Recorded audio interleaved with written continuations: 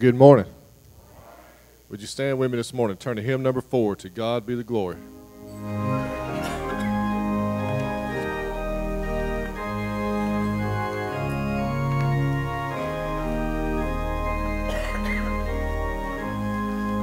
To God be the glory,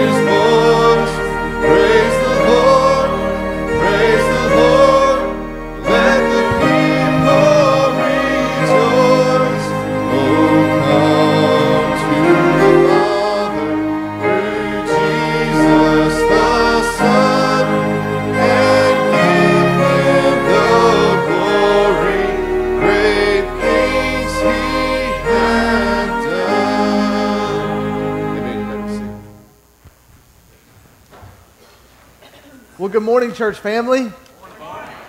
What an exciting day it is to get to worship in God's house and see everybody smiling because both teams won yesterday. So I know that's why there's so many folks smiling and happy. And, and I know that on days when that doesn't happen, people are scowling, not because I've done something, but somebody else did something and something along from there. So, but no, we want to say welcome to you that have been here before, or maybe you hadn't been here in a while, or maybe you're a new guest. We want to say welcome. Uh, we want to make you feel like you're at home and make feel you're part of uh, part of family. Family's not the walls of a church. It's not the place where you meet. It's the people that are here. And, and we like to think that we have a place that's welcoming. And we want you to know that uh, it's not the people that make the church. It's the Christ that is in you that makes the church. And so we're thankful to celebrate together. Hey, if you have your bulletin, go ahead and look on the back there. There's a few things we want to let you know about. Uh, I want to highlight just a couple of those in particular. Number one, our Sunday night uh, small group classes are on hold for the next two weeks because next week we have Brother, Bruce, Brother Bruce's recognition service for his 34 years of service and ministry. Amen? Isn't that awesome? I think it'll be the first week he's back to church since he had his knee surgery and he left. I don't know which one's the reason. Y'all can take that up yourselves. But no, he's, he's going to be here, and we got some real special things in store. Josh is going to come lead worship. Brother Wayne Outlaw is going to come back and play. Uh, Scott Thorne's going to be here. We're going to have uh, several of the uh, folks that have just been part of choir. You guys are invited back at 3.30 ahead of time to run through a song so everybody can come up and sing together. It's going to be a lot of fun. We're just asking you to bring uh, finger food, and we're going to take care of uh, ice cream and stuff like that and cake, and so it's going to be a great time. Just come and be ready. That's going to be at 4 o'clock, 3.30 if you want to come sing, 4 o'clock if you're just going to come and be part of that worship service, and that'll be in place of our regular service that evening. And then the next week will be the beginning of our uh, Lord Teach Us to Pray. It's our special revival event with Dr. Ben Bowden, and uh, he's going to bring some of his crew with him to help lead us in worship with Donnie and Jesse. And y'all, it's going to be awesome. I- I've talked to Ben, he's really excited. We're going to start that each night at 6 o'clock. So make sure you mark that on your calendar. That's Sunday, Monday, and Tuesday night. We're going to be doing three nights there. So excited to have that time as well. Listen, be, please be sure to keep in prayer those that are sick and not with us and those that are traveling today. As you can see, we have about probably half what we normally have on a Sunday morning. I think this half is here, and so this half, notice this half who's here, and then everybody that's not, give them grief next week, okay? So you guys, y'all get the prize because you're here. So there's a few of them like, no, please don't. We just tell them we're glad they're back. But uh, no, be careful if you are traveling today, going to see friends and family. But uh, before we do that, let's get into some worship. We want to sing to the Lord. We want to read God's word, preach God's word, and look at Him together, okay? Let's pray. Lord, thank you, Heavenly Father, for the time we get to spend together today. I pray that your Holy Spirit is in our midst and reviving our hearts and drawing us unto you. Lord, if there's any distractions, anything that would, would keep us away from putting our hearts and intentions on you, draw it away, God. Just uh, allow it to be put to the side. Allow our pride to be overcome by humility at seeing your Son Jesus and what he did for us, to not move beyond the cross, but fall more deeply in love with his sacrifice and the salvation that we find in him. It's in your name we pray these things. Amen. Would you stand with me this morning for our offertory hymn? Surely the presence, and He is here.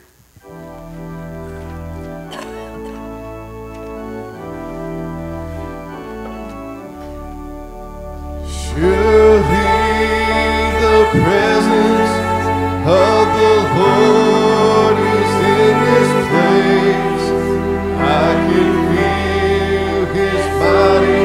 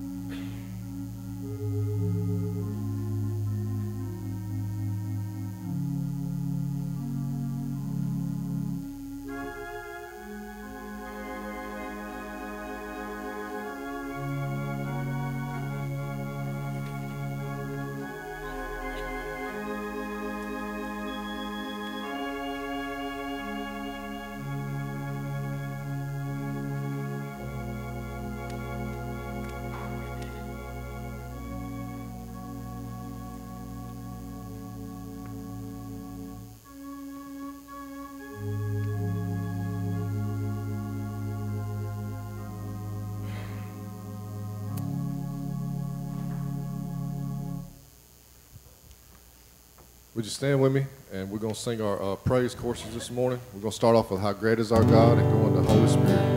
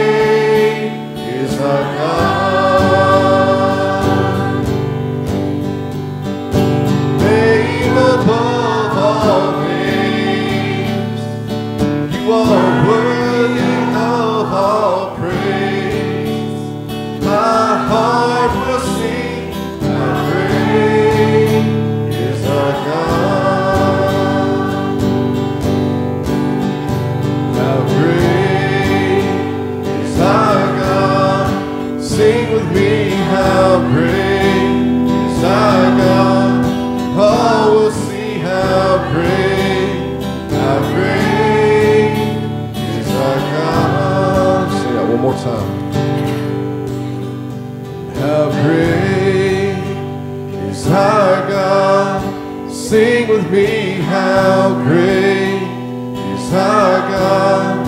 Oh, we'll see how great, how great is our God. Would you bow your heads with me this morning? Dear Lord, we just thank you. Lord, we just thank you for everything that you've done for us. God, we just stand on the promise this morning of how great you are, Lord. And when we realize, Father, that who you are and who we are, Lord, it's a humbling experience.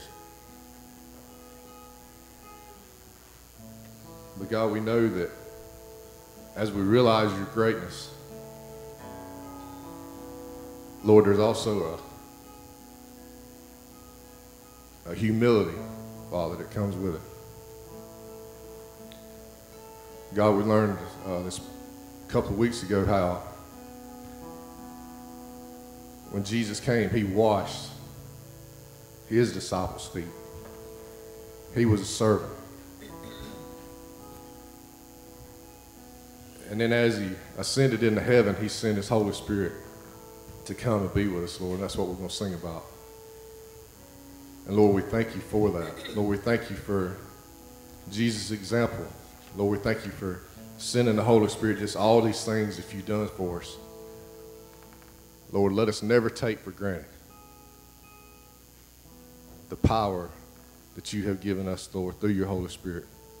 Lord, be with us this morning in this worship service. In your name I pray. Amen.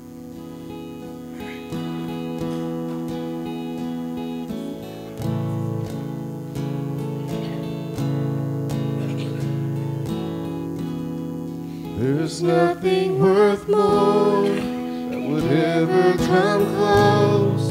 Nothing can compare. You're our living hope.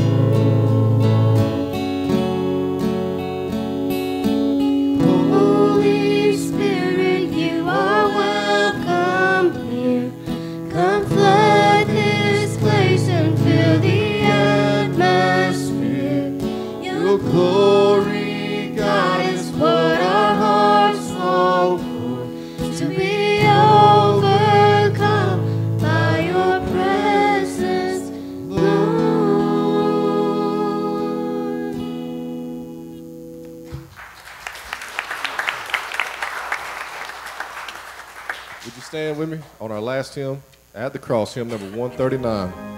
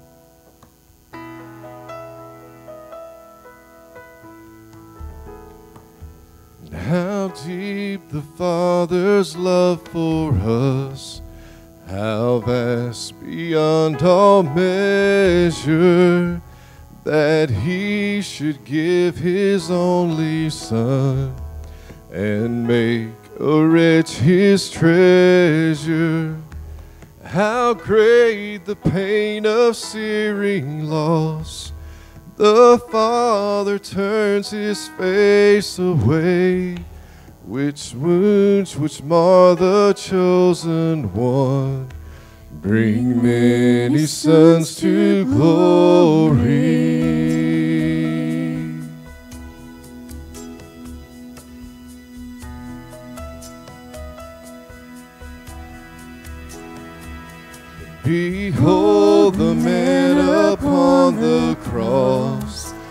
My sin upon his shoulder.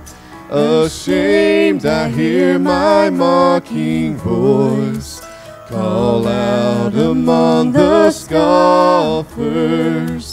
It was my sin that held him there until it was accomplished. His dying breath has brought me life. I know that it is finished.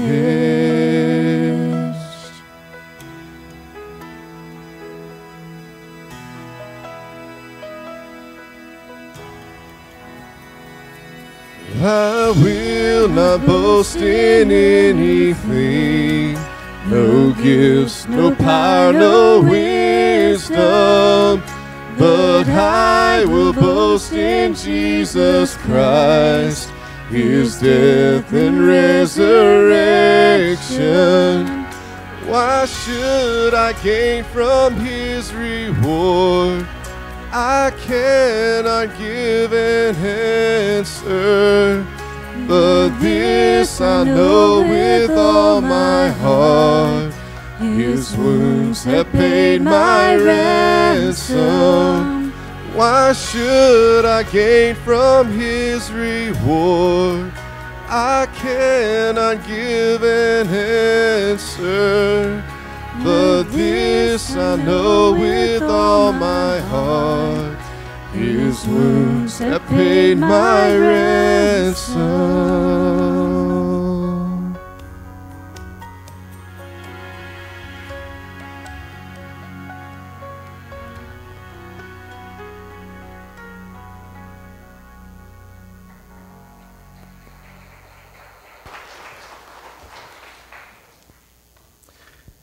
Is not the price that Christ paid for us worth celebrating? Is it not worth being in awe over? It is not worth standing and looking upon and standing there with jaw struck open wonder at how much He gave for us. And then, not in only in how much He gave for us, but how we are able to participate in that reward. Is that not worth celebrating? Is that not worth sharing? Is that not worth giving over all of your heart and all of your affection in ways that cannot be measured to the point that we can't go deep enough or wide enough or far enough to give it its due glory? Thank God for what He gives to us. Love the songs we sung this morning. How deep the Father's love for us. How vast beyond all measure. It's one of the older hymns in the hymn book that you may not even know that we have, but it's so beautiful. Alas, and did my Savior die? Holy Spirit, you're welcome here. These are all declarations we make to God, but they are in some ways just words. They're just words, and words can only go so far. But God has been so good to give us ways, not just in words and means, but also in deed, to represent what He's done for us. Isn't that awesome? We do this in ways that we have been handed down for literally at this point thousands of years. Thousands of years. That since the time when Christ walked the olive gardens of the Middle East, and since John stood in that riverbed and baptized one after another who are greatly anticipating the coming Messiah, since Jesus sat down with his 12 disciples around that table in eager anticipa- anticipation of his last Passover meal, we have had things to hand down to one another. We, we celebrate things in culture. We celebrate events. We celebrate milestones. And if you don't think so, just wait until next year and don't expect your spouse to get you something for your anniversary. What about next week, someone's birthday comes around and they're supposed to be somebody you love and you forget it? Do we celebrate these milestones? We do, don't we? I mean, we celebrate all kinds of milestones. Does anybody remember? Let's see, Micah, you were a pretty good baseball player back in the day, I'm guessing, right? Once upon a time? Were you ever a home run hitter? I was never a home run hitter. I couldn't put them out. A few? Okay. Do you remember your first one? Probably not the very first one. Specific ones, but not the first. What's, what's one that you remember that really meant a lot? Did you guys celebrate that? Celebrate that a little bit, didn't you? Just a little bit. We make those milestones and then we find ways to celebrate them, don't we? Does anybody remember? Because anybody just say, you know, on the count of three, here's what you shout out. Those that are married couples, I want you to say your anniversary date. So, men, I'm giving you a chance to think for just a moment, okay? All right? I'm going to give you on the count of three. One, two, three. Good. At least most people knew, I think it sounded like. Good, good. I'm not even asking you remember the year, okay? That's a little harder. I understand, okay? We around our house sometimes, either one of us have to ask, now, what year did we get married in? And you know how it's easy to keep up with? We had Joy 10 months after we got married, okay? Or Lily, we had Lily Page 10 months after we got married. So it's really easy to keep up with how, how many years we've been married. Man, God has a sense of humor, doesn't he? But we, we celebrate those things. Uh, I know it's sweet Fondren family. You guys got to add to your number, right? Just here recently, when you had that baby in the hospital, was it just you guys for two days with no interruptions? Uh, the, the, chuckles are rising back here from thank you, Miss Mistake. So no, what happens when somebody has a baby? We call them. We say congratulations. We say, oh my goodness, that child is beautiful, even sometimes when they're not, right? I'm not talking about this, it's it's gorgeous grandchild, okay? I'm just saying in general, y'all, I'll be, some, there are some ugly babies out there. and they're all God's creation, but what did you say? Just stop. Just stop. I mean, but look, you just see them on the commercials when you're a kid, and you think that's how babies come out looking, but babies don't always come out looking like that, right? I mean, they just got to give, them a couple days and they look normal. But y'all, I mean, we celebrate things. Why? Because they're worth being celebrated. Do we not celebrate salvation? I, I, for, to the shame of my name, I will say that I do not know the date that I gave my life to Christ. I wish I could celebrate that. Wouldn't that be awesome to be able to celebrate my spiritual birthday? But I don't even know when it was. I know it was Easter of a year when I was five years old, six years old. That's all I know. I guess I could go back and look at it and know that's the day that I walked the aisle. And, and I do remember when I got baptized because the hot water was broken that day and it was cold. And not only that, they flooded the whole downstairs of the church with the baptistry water. It was a day to be remembered, okay? I remember walking through sopping carpet to get up there to be baptized. By the way, baptism next week, September 9th. We're going to have a couple baptisms. Isn't that awesome? And it's not going to be like just little kids either. I'm talking adults. It's awesome. God's doing great work. But, folks, we want to celebrate those things. We want to celebrate those things. And God gives us two ways to celebrate, commemorate, and remember things in the church. And really, the things, the only two things that are worth celebrating and remembering are the two things that are being passed down. It is through baptism and through the Lord's Supper. Now, you may think, oh, great, a message on baptism and the Lord's Supper. Look, I know we're supposed to do that. But if I say, hey, um, Harold, Miss Carol's birthday is next week. Do you remember? You're not going to go, oh, man, it's time for that again. Do we have to get back together? No. You're going to say, oh, man, I need to go get a present. I need to make some dinner reservations. I got to get flowers. Why do we do those things? Because birthdays are worth what? Celebrating.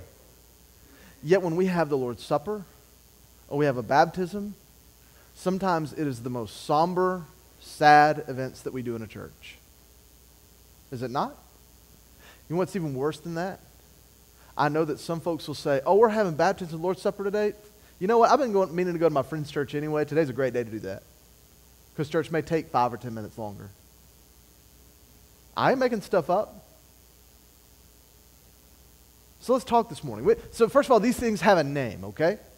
These things are called ordinances. Maybe you, you heard it in the phrase, the ordinance of believers' baptism or the ordinance of the Lord's Supper. We call them ordinances. And here's what ordinance is an ordinance is just a ceremony that the Lord Jesus Christ has commanded to be permanently practiced by the church. Maybe you want to write that down. Maybe you want the definition. You have that. Sorry, that one's not up on screen. I didn't put that up there. We put scriptures and main points. But an ordinance is a ceremony that the Lord Jesus Christ has commanded to be permanently practiced by the church. So those are the things, the two things that we do. Now, um, different faiths have different things they celebrate. Some accept far more. They call them sacraments, and there's seven of them. We don't have seven. We have two okay? And we'll celebrate these two because these are the only two that Jesus gave in the Bible and handed down. But before we do that, I, I want to kind of just tell you how this fits into the whole theme that we've been going through. We've been talking the last several weeks about keeping the main thing the main thing. It's that, that when we fall in love with Jesus and when we fall in love with the cross of Jesus Christ, we call it living the cross centered life. That we can never get beyond living with the cross at the very center of our life. That there is a point in time in our life where things change dramatically forever when the cross of Jesus Christ was planted down and the old person who we were died and the new rose again with him. That is a milestone moment in the life of a believer. And everything centers around that and is spun out from there with momentum carrying on to the end of our lives. God's word dictates that we don't fall beyond the cross to look for new ways to love Him and new things about Him, but that we fall more in love with the cross because every single day that we know more about Christ, the more we'll be thankful for the sacrifice He made for us. The more we'll say, and I'll say this as someone who's been a believer now for 25 years of my life, 26 years of my life, I will say at 26 years of being a Christian, I can look back and say, I realize now more than ever before the sin that my, the, the cost that my sin took on Jesus' life. I know more about my wickedness and fallen nature now than I even knew about yesterday. And you probably do too, right? And you would say, man, I appreciate what Jesus did more for me now than ever before because I just need Him that much. Folks, that's what living the cross centered life means. So we never get beyond it, we fall deeply more in love with it. So let's take these two things that are, by the way, they are commands by Jesus and commands by the Apostle Paul to do and observe, and let's apply them to our lives and see why they fit into our church, how we do them, and then how they build up the body of Christ. Because ultimately, that's what we're talking about, is building up the body of Christ. The first of these things that is not optional at all in the church that we are called to do is baptism. So, first of all, let's ask a question What is baptism? Baptism is, in the Bible, biblical obedience to Jesus Christ's example of being buried under the water in the Jordan River by John the Baptist and raising up out of that to represent new life. For Jesus, this was the beginning of his ministry. For us, it's the beginning of our lives. That word baptism comes from a Greek word that means to immerse in water. Hence, why we immerse in water rather than sprinkle. Now, there, are been, there have been times in church history where sprinkling happened because there was not an ability to dunk in water, or maybe someone didn't have the physical ability to go submerged in water. But we do it as a symbol of what's been happening in our hearts. So whenever I explain it, especially to little kids, I like to use one of these. Anybody have one of these? It's a wedding ring, okay? We use this as a symbol. This wedding ring is off of my finger. Does that mean that I'm not married anymore? No, why not? It is a symbol. It represents what has happened in my life already. It is there to be a reminder to myself and to other people that I am unified with and belong to another person. Baptism is a symbol. It is a symbol to represent that I am no longer living in my own life in my own flesh, but I am living in Christ Jesus as one with Him. So, why is baptism important? Other than just the fact that we say it is because Jesus told us to, let's look at some scriptures that deal with that. First of all, baptism openly identifies you as a follower of Jesus Christ.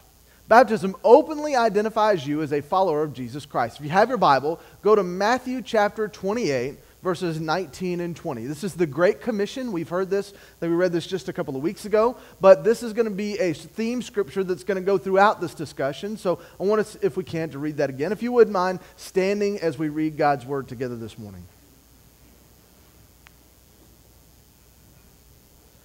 Matthew 28, 19 and 20. You ready? Go therefore and make disciples of all nations, baptizing them in the name of the Father and the Son and the Holy Spirit, teaching them to observe all that I have commanded you. And behold, I am with you always to the end of the age. Let's pray. God, Thank you that you have given us a clear command for going to baptize and make disciples. As we talk about this this morning, let us discover in Scripture how you have called us to make this, God, the central focus of our lives and our ministry for others around us. So in your name we pray these things. Amen. Be seated. So, baptism is not something we do just as a schedule this down the road kind of thing in our lives. Uh, we do this as an act of first obedience when we come to faith in Jesus Christ. In Acts chapter 2, verse 41, God's word says this. So, this is uh, the early church. So, those who received his word, that's the word of Peter who was preaching, were baptized, and there were added to that day about 3,000 souls at the first preaching at something called Pentecost. It's thousands of people were saved. Then Paul took baptism as soon as the scales fell off of his eyes after having a conversion experience on the road to Damascus. He's going to persecute the church. Jesus comes down, says, Saul, Saul, why are you what? persecuting me. And he says, Oh Lord, forgive me. I'm sorry. He has a salvation experience right there. And immediately he's struck blind. Goes to a house, waits there. Uh, the man comes and takes the scales off of his eyes. And as soon as he does that, after not having eaten or slept for three days, what do you think he wants to go do first? Get a steak? No. The very first thing he does is this Acts 9 18 and immediately something like scales fell from his eyes, and he regained his sight. Then he rose and was baptized. Taking food, he was strengthened. Paul, before he even put food in his body, wanted to be obedient to what believers did to represent Jesus in their life. If anything, if anybody could identify how believers were showing themselves, new believers in Jesus were showing themselves, it's the one who was supposed to sniff them out, right? Wasn't that Saul's job when he was Saul, not Paul? His job was to go and find Christians and arrest them and make sure they paid for their crime. And the best way to find out who they were was to look at who had been baptized. And so he said, if I'm going to be one of them, I've got to be obedient as they've chosen to be obedient. Paul not only is baptized himself as of first importance, but you know the story of the Philippian jailer, where he goes, he's in jail, the angel comes, shakes off the chains of Paul and Silas, and uh, they're getting ready to walk out with all the other prisoners, and they choose to stay. The jailer wakes up, is getting ready to kill himself, and then Paul cries out, No, no, no, we're all still here. The jailer wants to know why. He turns, he speaks to Paul. Paul converts him right then and there on the spot. He goes home, he grabs his family and does the same to them. Look at Acts 16:33. And he took them the same hour of the night and washed their wounds. This is the jailer washing Paul and Silas's wounds, and he was baptized at once. He and who else? Who else? All his family. Not that they were just saved and that was it and they started their ministry. No, they, of first importance, gave their life to Jesus and were baptized as a result. Do you know what ended up happening with this family? This family started one of the very first churches in all of the area. Outside of Jerusalem, especially. This was, I mean, this was like the first church. I mean, you got Peter and James and what's going on in the city. But once you get out of town, Philippians is one of the oldest books of the Bible we have that teaches us about what it means to be obedient to Christ. So, baptism openly identifies you as a follower of Jesus Christ. Also, baptism openly obeys the commands of Christ. We look at that Great Commission passage that we saw in Matthew 28 19 through 20. If you still have that, look at it. Look, this is not a suggestion. This is what we call an imperative statement to go and do something. Like kids, when your mom tells you, go clean up your room, this is on the same level. Okay? Jesus isn't handing out spankings with a wooden spoon, but I bet if he could, he would, all right? I'd be in trouble if he came back right now. I'll just be honest with you because I don't do this near enough. But he says, Go, therefore, and make disciples of all nations. Here's how you do that you make a disciple by number one, baptizing them in the name of Jesus Christ, and then teaching them what it means to be a Christian. You first identify outwardly what it means to be a Christian, and then secondly, you teach and follow those commands themselves. And you look at that word that's used there it is baptism. That baptism by immersion. So, the third reason then is that the Bible openly expresses your faith in many truths about salvation. When, we, when we have salvation and baptism, it expresses what's happened in our lives. Here's how so. First of all, that salvation comes through Jesus. Because we say we baptize in the name of who? In Jesus' name, right? The name of the Father, Son, and Holy Spirit, Jesus. It also indicates that our sins have been washed away. Do you know how it does that? I don't know if you've ever thought about this much, but we baptize and we call the mode of baptism through water. And that water is to represent burial. So when somebody goes into the water, we say, buried in, with what? Buried with Christ in baptism, raised to walk in newness of life. To say it's new life. Um, if you ever go to a funeral, they, they have a big hole in the ground and the person's sitting up top, and then eventually they lower them into that hole, right? And then cover it up. Well, water is great because you go in and then you don't have to cover dirt on top and then pull somebody out and then they're all dirty and nasty. They're just a little bit wet and they dry out. But what we do is we have that baptistry filled with water to represent going down and be buried with the burial of Jesus Christ and then raised in the power of the Holy Spirit that is present in our lives now. It represents sins being washed away. Is there anything else in this world worth celebrating more than knowing that yours and my sins have been washed away? Satan can't look at you, guilt you, condemn you. Romans 8 1, there is now therefore no condemnation for those who are in Christ Jesus ever again. Never.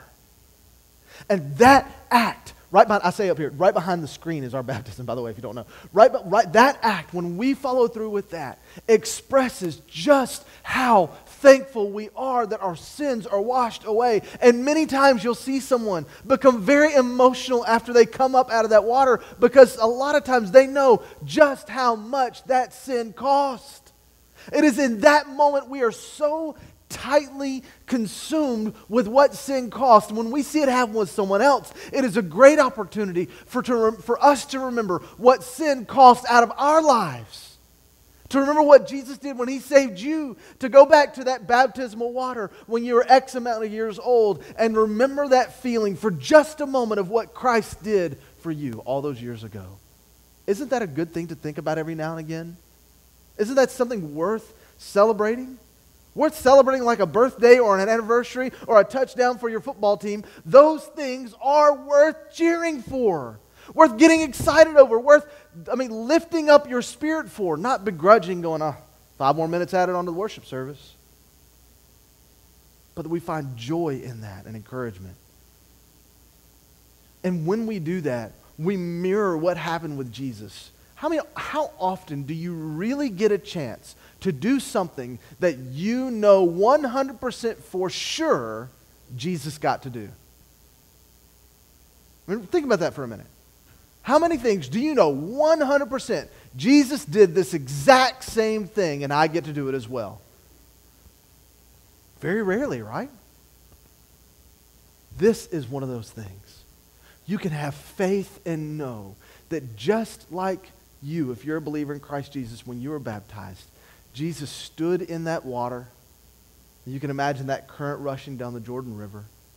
John standing there behind him, allowing him to go down and pulling him back up. And as those droplets of water ran off of his face and that breath entered his lung and that calling of ministry on his life, so it does for you as well. That when you come up out of that water, it represents the new life you have in Christ. And the job that you and I have to do to go and spread the gospel no matter the cost. Also, represents for us the fact that God is three in one, that God is triune. When we baptize, we say we baptize in the name of the, give me the three things the what?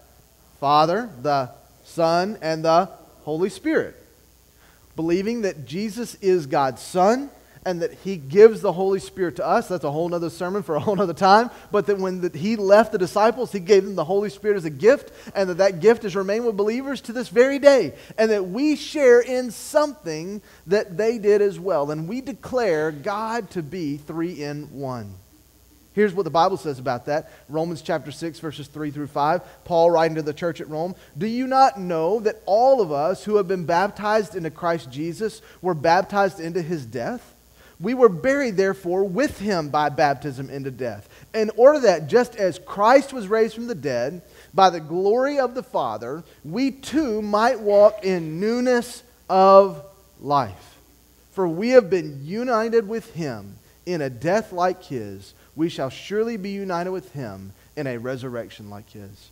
Our death, burial, and resurrection, modeled in the water, declares to the outside world we are identified with Jesus and Jesus alone. In everything that we do, to be one with Him. It identifies that you and I are a new creation. And that old person we were is gone away. I want to give you a couple practical principles about baptism, then we'll move on to the Lord's Supper. First of all, I want to say this baptism is not a saving ritual. Baptism is not a saving ritual. Baptism does not save you, it does not complete your salvation, it doesn't finish the thing out. Baptism is an act of obedience that shows the world who you already are in Jesus. So if, if somebody tells you, oh, I've got to get baptized so I can finish being saved, uh uh-uh. uh. Baptismal regeneration is what that's called, and it is not a real thing. How do we know this? We know that at the moment that we accept Jesus into our heart, that we are saved and that baptism is a symbol of what's happened in us. It's what you do because you love someone. Good example. You go to a wedding. We went to a wedding this weekend. Um, my brother-in-law got married. That'd be Lacey's brother, her, his, her oldest brother, and uh, got married to a sweet girl and, and just a, a, beautiful ceremony. But those of you who have been to a wedding, let's play out the scenario. What happens at the wedding, okay? Just the wedding right there. Um, first of all, you go to the altar. The groom's there. Bride comes in. Everybody stands up. Yay! It goes in, sitting there, right? They, they do their whole thing. They exchange some vows, they exchange some rings. They turn around, and the minister says, uh, Ladies and gentlemen, I like now like to pronounce for you Mr. and Mrs., in this case, Shannon. Uh, Lee, you may what your bride? Kiss your bride. Now, what does that kiss do? Seals the ceremony, right? Does that kiss make them married all of a sudden?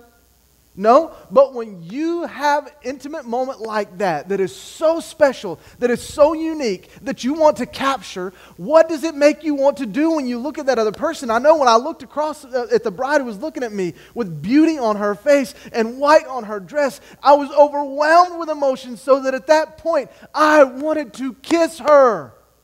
She looks good, y'all. I wanted to, you know why? because I was so overcome with emotion. It is a perfect way to seal that moment. And when we over, are overcome with the emotion of what Jesus did for us and his sacrifice on the cross, his flogging, his blood, his sweat, his tears, his death, his burial, and finally his resurrection, y'all, that should put us to the point that we want to seal that thing. We want to show that thing. We want people to know what it meant for our life. And so we seal that with baptism. Not so we are saved, but because we are saved and because we have life in Him. You know what that then does? It plants a flag on the ground to remember what the stake and claim on our life is. It plants a flag on the ground. Uh, up on the moon right now, there is uh, a flag next to some footprints. You might tell me who planted that Star Spangled Banner flag and the, whose footprint is there beside it? Neil Armstrong. There we go. We are students of history. Miss Tanya, I got you, girl. You were, you were there. You were all over it.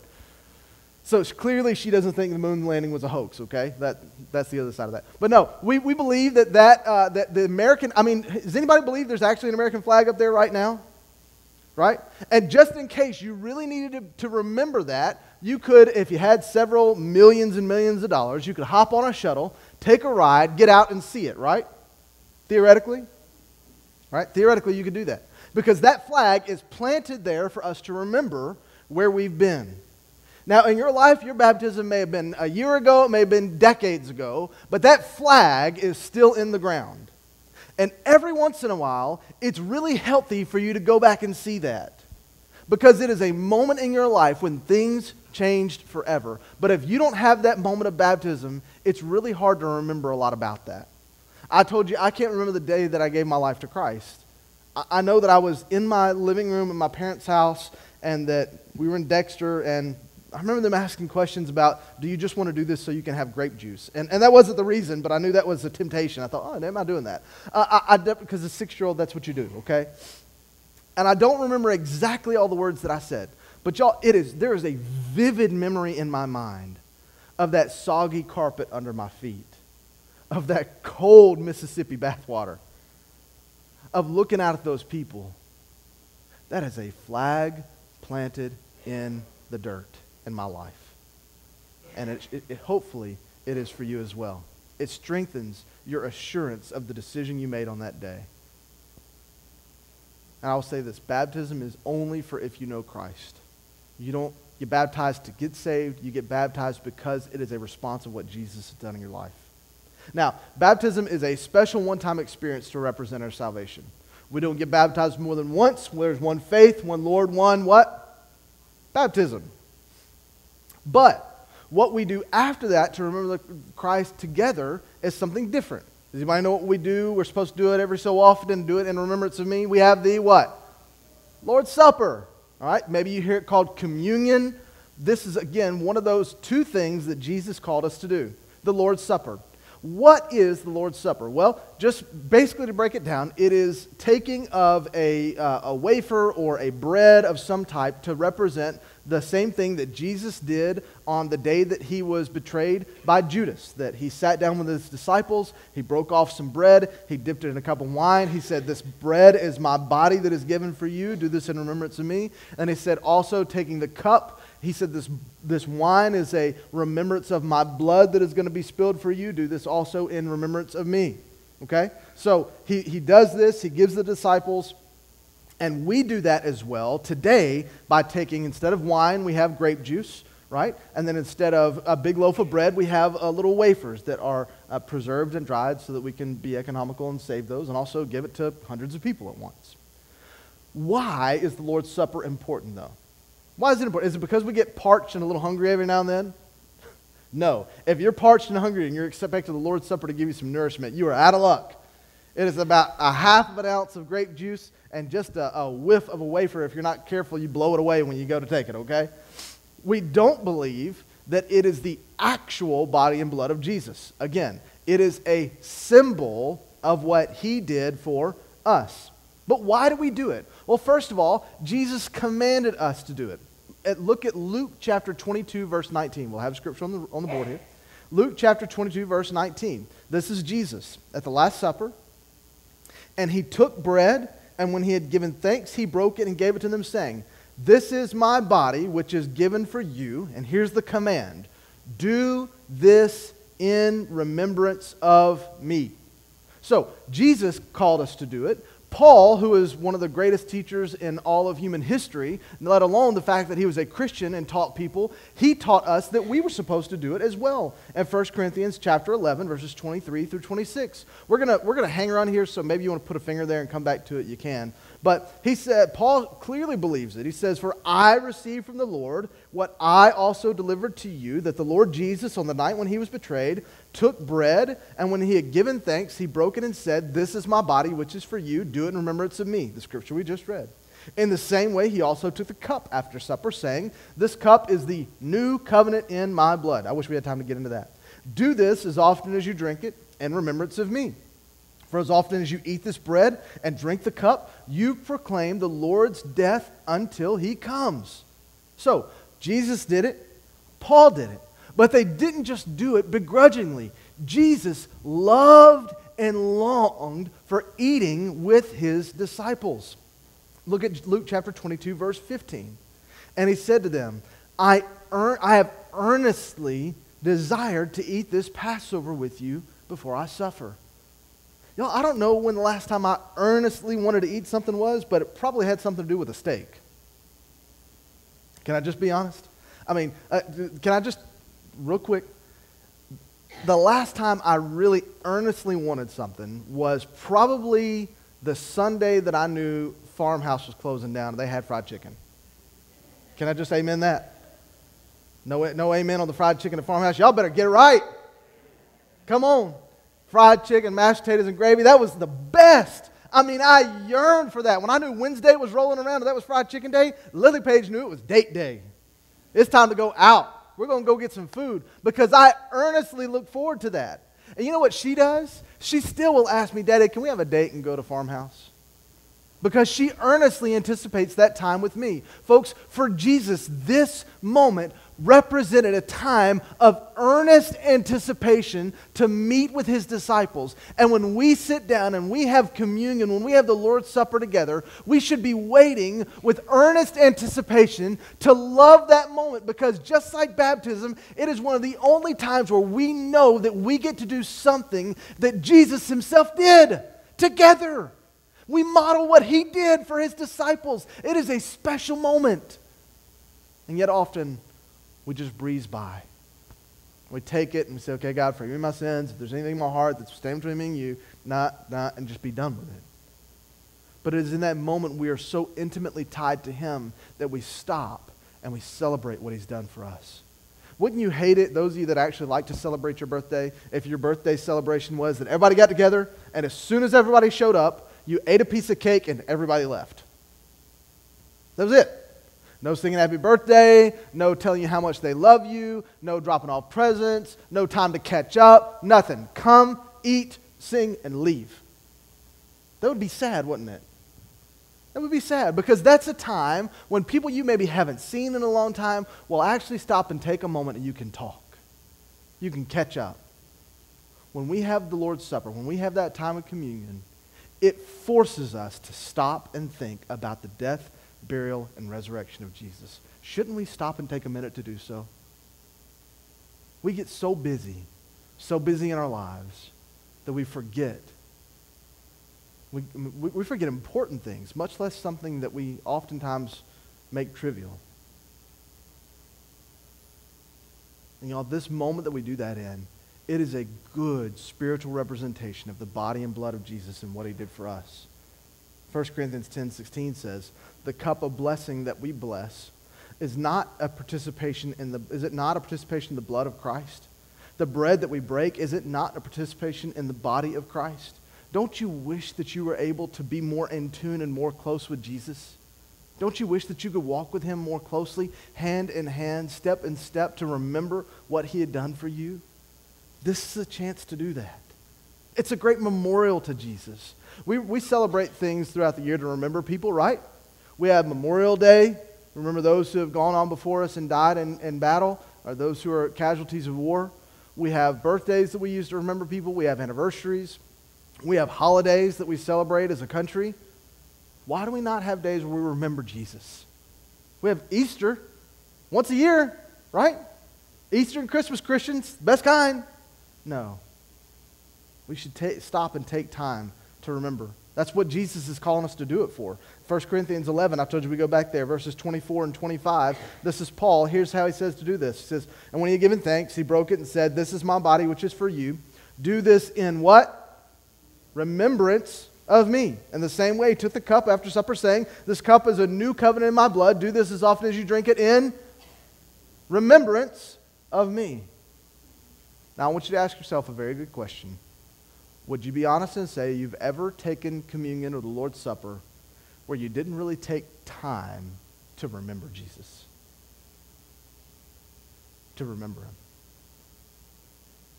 You ever been somewhere and you stop and you see something or do something you remember doing as a kid and think, man, wouldn't this be awesome if so and so was here?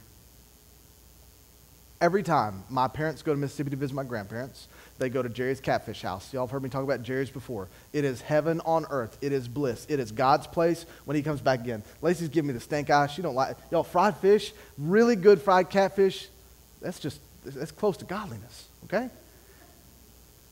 And every time they go there, if I'm not with them, do you know what they do?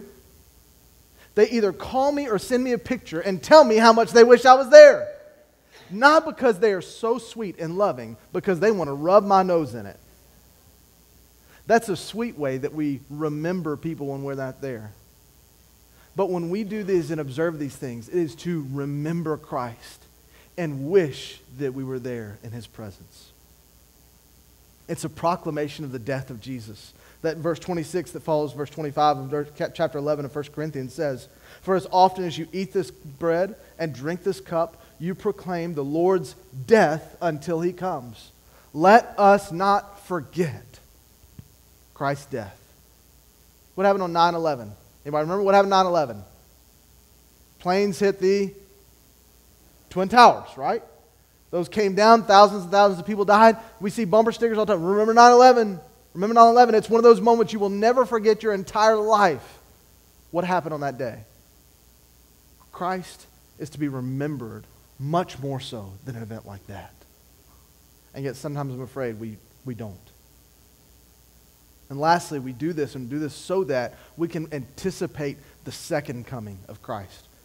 That last 26 there, I'll read it again. For as often as you do eat this bread and drink the cup, you proclaim the Lord's death until he comes. He is coming again. And until that time comes, these are the two ways that we as a church can be faithful to remember him. Participating in the Lord's Supper doesn't make you a Christian, just like baptism doesn't make you a Christian. And it is more important than we probably give it credit for, and many times and in many ways. And it is a commanded, necessary blessing on our lives. So here's what I want to ask you. If we were to do these things today, what would your heart say?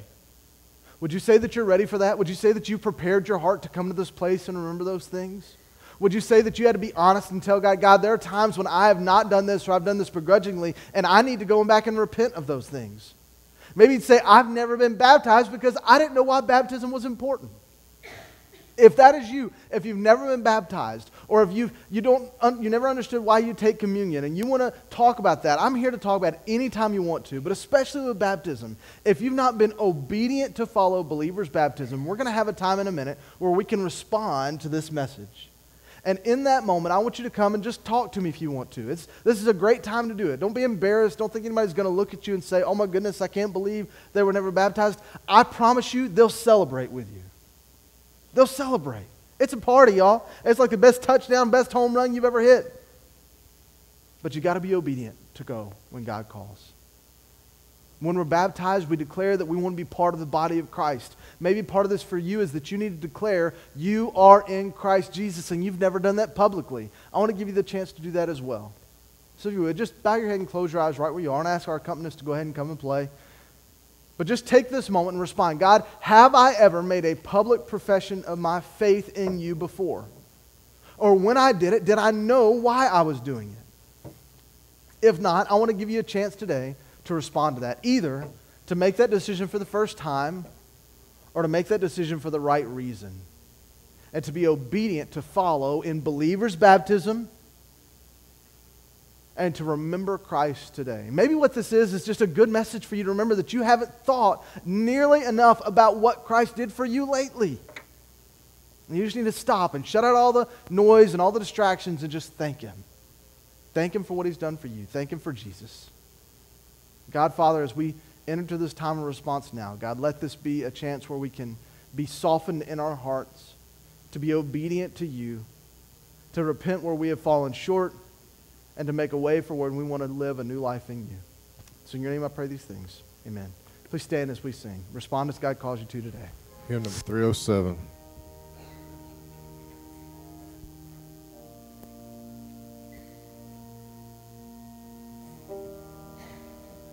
Just as I am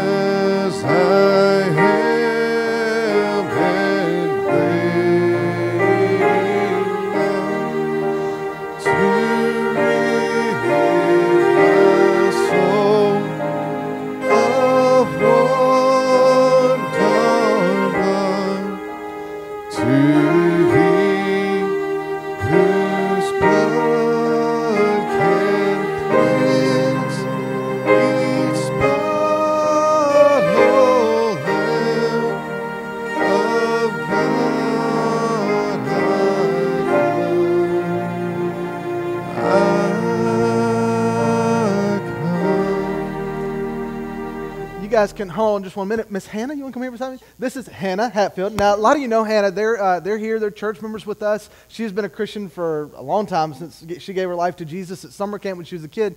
But uh, just as she said a minute ago, and she would, I don't think mind me sharing this, said, I just didn't know what baptism was supposed to be all about. And so after hearing just the message this morning and wanting to be obedient to that, uh, she wants to be obedient and follow believers' baptism. So I think we can accommodate that. Amen? Amen. Awesome. So, yeah, that's great.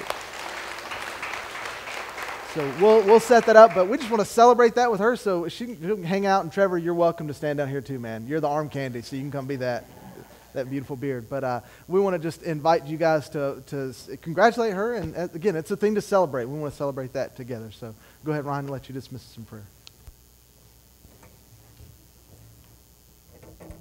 Let's pray. Dear Lord, thank you for all your many blessings, God. And thank you especially for your salvation through Jesus Christ.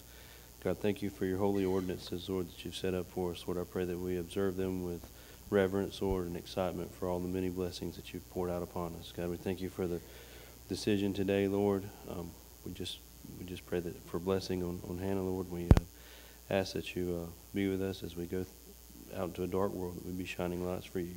We ask all these things in Jesus' name. Amen.